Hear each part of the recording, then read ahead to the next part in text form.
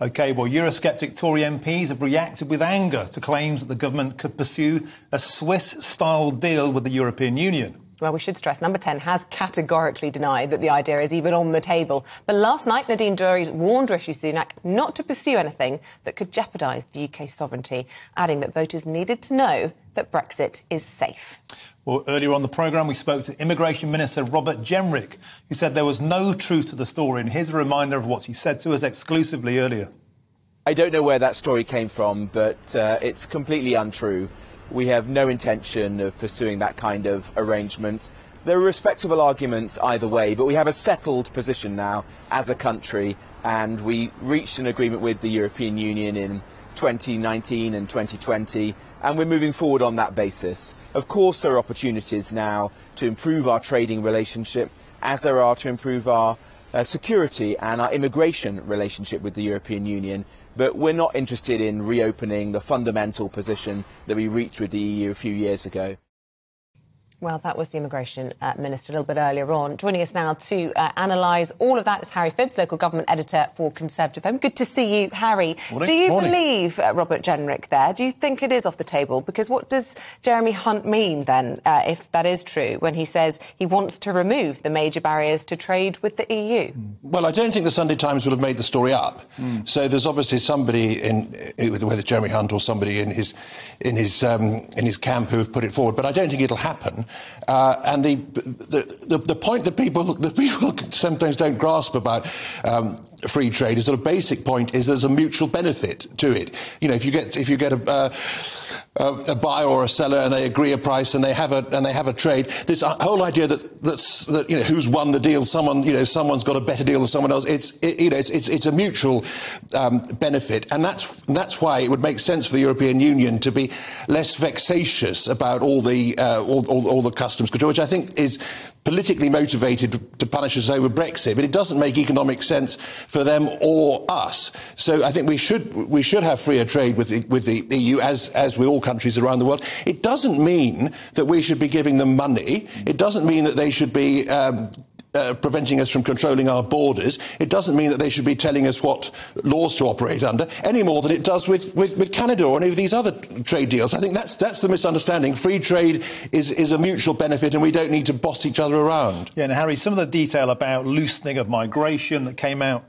in that leak to the Sunday Times, plus now the CBIS of today, this, this continued reliance on, on cheap migrant labour to do the jobs in Britain. That was a huge point during the Brexit referendum, particularly in the Red Wall, where the working classes were saying they were seeing their wages suppressed. It's really a relaxation of immigration, the sort of thing that's going to land well with the Conservative voters in the Red Wall again now. Uh, no, but I, but I think that, that even more important than the amount of immigration is, is a, sense of it not being under control. And that, of course, we, we've got that with the, the, the, channel crossings. And I think actually, if if people felt that we were we had um, control over who was coming in, how long they were for here for, what what were the reasons for having people with particular skills, then I think people um, would, would, be much more positive about immigration. But the idea of complete free movement with the European Union, with uh, with complete uh, lack of any control at all, um, no, absolutely that was a that was a source of dismay, and, and absolutely the, any suggestion of, of, of, going back to that would be regarded as a, as a betrayal. Yeah, and look, we should stress again the government very much denying that this is an option. I think you're absolutely right. It's very, very unlikely any sort of Swiss style deal would be brought in. But I'm interested to get your thoughts on this CBI conference. Prime Minister heading up there uh, to give a keynote speech today. Uh, they've come out saying that labour shortages are holding Britain back. And Martin was touching on it there. We need to increase migration to tackle what they call a dormant economic decade. How does the government address that problem then?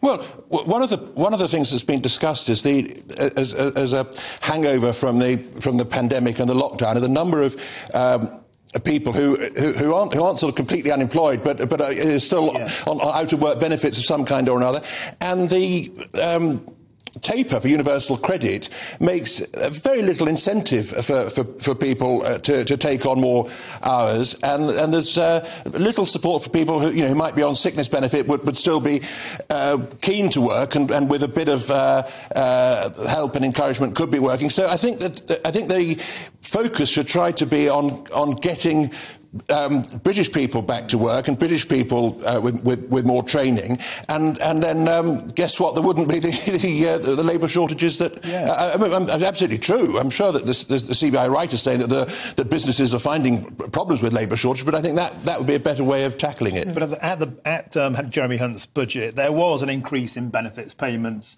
There was a, a slamming down on middle earners, on the middle classes. So is the Tory government sending out the right messages about getting people to work, to incentivise work? So, so paying people to not work in Britain and then importing labour surely is, is, is wrong-headed. We need to have incentives for all across the income scale. We need to do, do something about, about benefit reform so that people aren't trapped on benefits. But also, absolutely, we need to have incentives for, for, for rich people, successful people, uh, to be staying in this country. Uh, we, we, we, want, we want them to be uh, uh, working hard and paying more tax and taking on us. And if we if we pile on tax so high on businesses and on and on the wealthy, it it ends up being counterproductive. You put up the tax rates, but then because of the lack of incentive, the the revenue the revenue goes down. And I think we're already so highly taxed mm. uh, that that it's it's a really serious um, mistake that Jeremy Hunt made uh, with the budget last week to put tax even higher. I mean, there's been talk about spending cuts, but if you look at the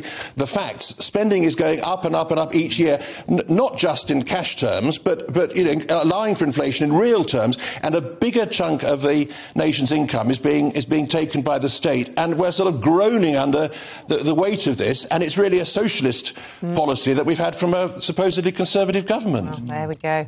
Uh, Harry Phibbs, always interesting to get your take, local government editor from Conservative Home. Thank you very much Thanks. indeed.